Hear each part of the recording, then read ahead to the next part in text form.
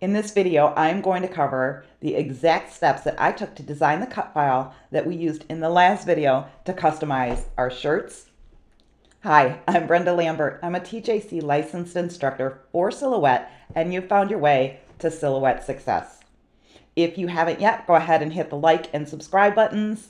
Don't forget the notification bell. YouTube will let you know every time I upload a tutorial, and we can keep on crafting together. If you are ready to get started, go ahead and open up your Silhouette Studio software in a split screen and you can follow along. Let's do this. When you open your Silhouette Studio, you're going to have a blank canvas that looks like this. The first thing I like to do when I'm trying to replicate a design is to bring that design into my open page. So I'm going to click on File, head down to Merge, click on that. It'll bring up all of my files. I'm going to find the design that I want to replicate, double click, and it will bring it onto the mat. I'm going to move that just off to the side so I can see what I'm doing, but it's not really in my way. Let's scooch everything over. There we go. Now this particular design is made of all text elements. So we're going to head over to the left. The capital A here is what we want. We're going to click on that. We're going to click on the design mat and that will bring up a cursor and we can start typing. If you click off of that, you can get rid of your cursor, but you need to click back on it to modify the actual text. So I'm going to come up here and change my color. This first box is your fill color. The second box is your outline color. So let's change the fill color to red. And now it's the right color, but the wrong font. So we're going to go to the right-hand side and click on the capital A over there. That opens your text style panel and it will show you all of the fonts that you have installed on your computer. For this particular design, I use PN Boogie Woogie and it's in my recently used fonts.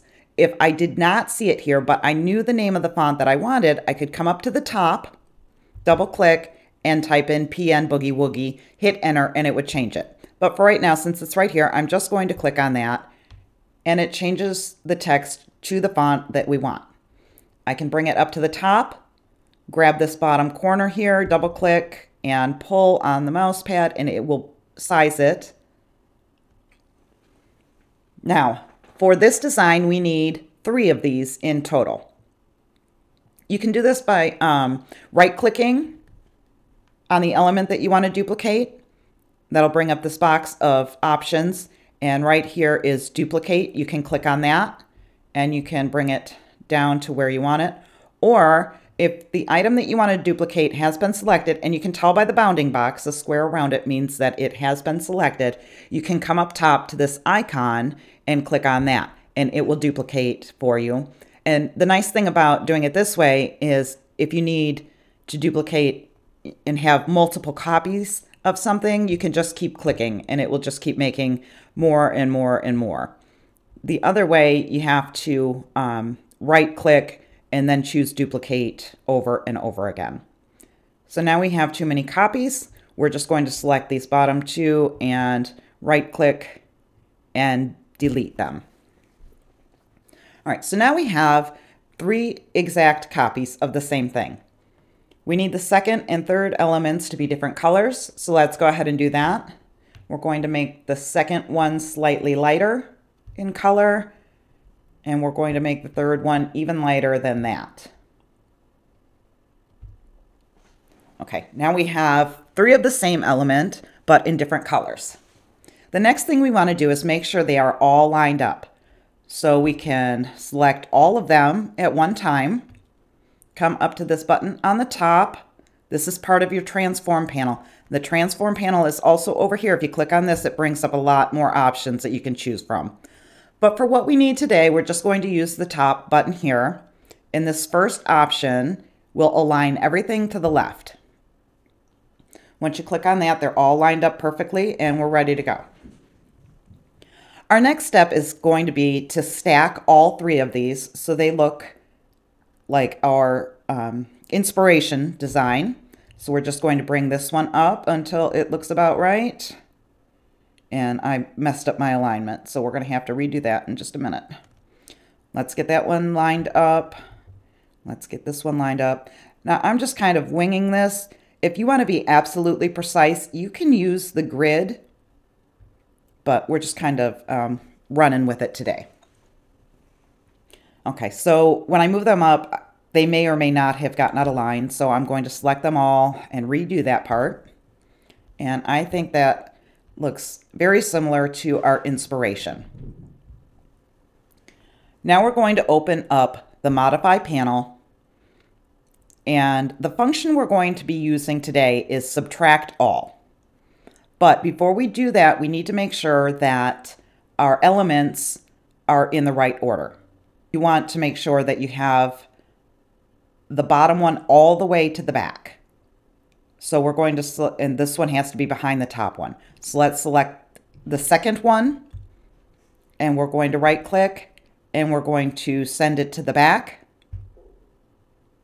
You can see now the top one is overlapping the middle one and we want the middle one to be overlapping the bottom one. So we're going to select the bottom one, right click and send that to back. Now our elements are in the right stack order so that we can um, modify them.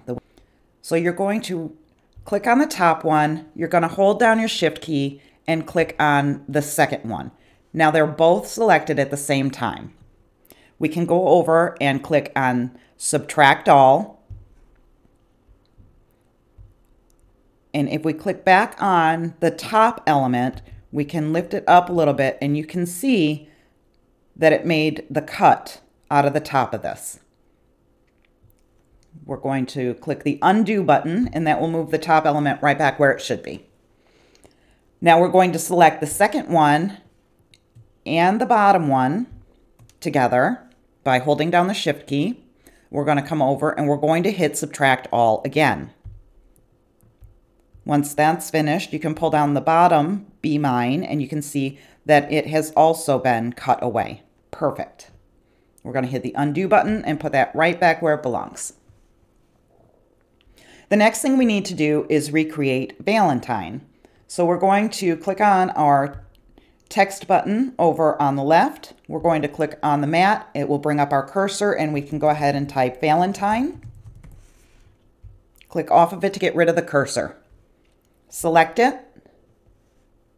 We're going to choose our fill color. That's going to be red like the top be mine.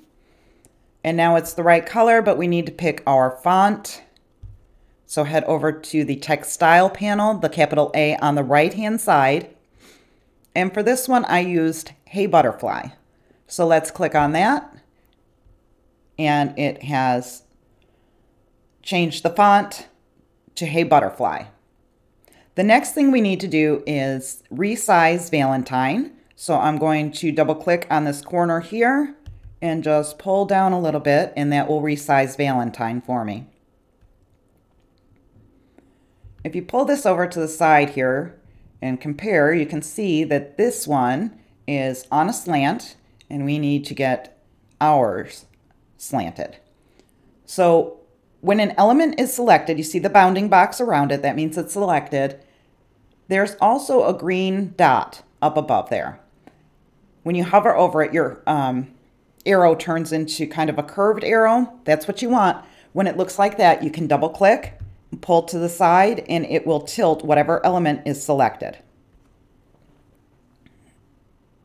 Now that Valentine is slanted, we can bring it over on top of the bottom Be Mine and get it lined up to where we want it. That looks pretty good. And the next step we want to take is to create an offset around Valentine. The offset panel is located here on the right hand side. It's the little star with the outline around it. So let's click on that. We're going to choose offset. Go ahead and click that. And that will bring up your distance. This is a distance of 0.020. And that's a decent offset for what we're doing. So we're just going to leave that alone. And we're going to click apply. Now, once I clicked apply, you can see that now there are several bounding boxes. We want all of that grouped together. So what I usually do is I go down to the bottom corner here and you can see my, my selector has changed to a little up down arrow. When it looks like that, go ahead and right click and you will find the option right here to group. Go ahead and group all of those pieces together. Then you can click off of it. You want to go in and drag away the original Valentine and you're left with just the outline. At this point, we want to select the outline of Valentine and the bottom Be Mine element. You have to hold shift. So select one, hold shift, and then select the other. Now they're both selected. We're going to go back to the modify panel and we are going to subtract all. You can pull the outline away we don't really need that anymore. And we can move the solid Valentine in there.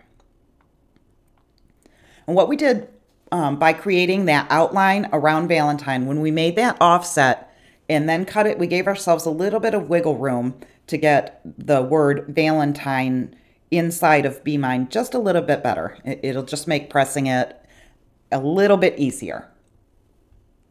Let's go ahead and delete this. We don't need it anymore. What I did was right click and then scroll up and delete. Our design now looks exactly like the inspiration design and we can continue forward um, just using what we have created. So let's get rid of this, right click and delete. We need to get our design set up to be cut now. The first thing you want to do is group the same colors together. So we're going to choose the top Be Mine. We're going to hold down the Shift key, select Valentine, right click, and group. The other colors are already grouped. So they, they're all set to be cut. Let's move everything back for just a minute though, because I'm going to now put this on a coffee mug.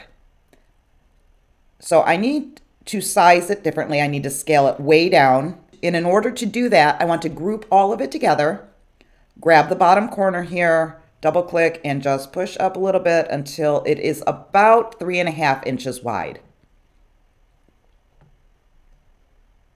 It can be a little more or a little less, that's fine, but right around three and a half to four inches usually for a coffee mug.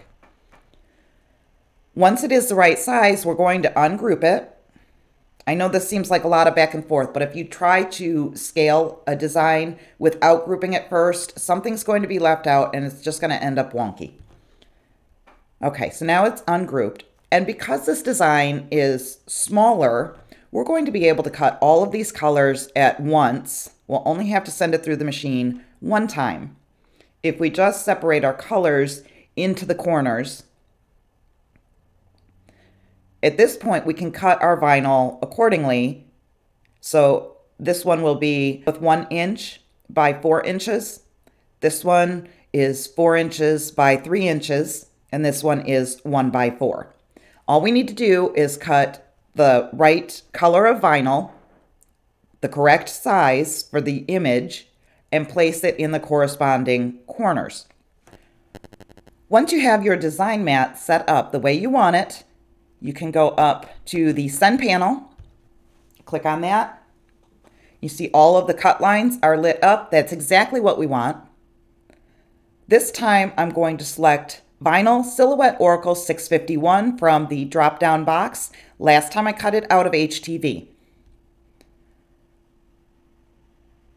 The blade is set at a depth of 1 if you're running a Cameo 4 or a Portrait 3, I highly suggest that you always bump your blade up by one. And that's all there is to it. You are ready to send this through your machine and cut out your vinyl. Okay, so we just covered a lot of information. We learned how to bring text into our designs and change the font. We learned how to change the color in different design elements. We used the offset tab and we used subtract all from the modify panel. And you can carry those skills with you throughout each and every design that you create from here on out. If you have any questions at all about what we covered in the video, go ahead and put them in the comments section below and I'll answer them as quickly as I possibly can. I will see you in the next video.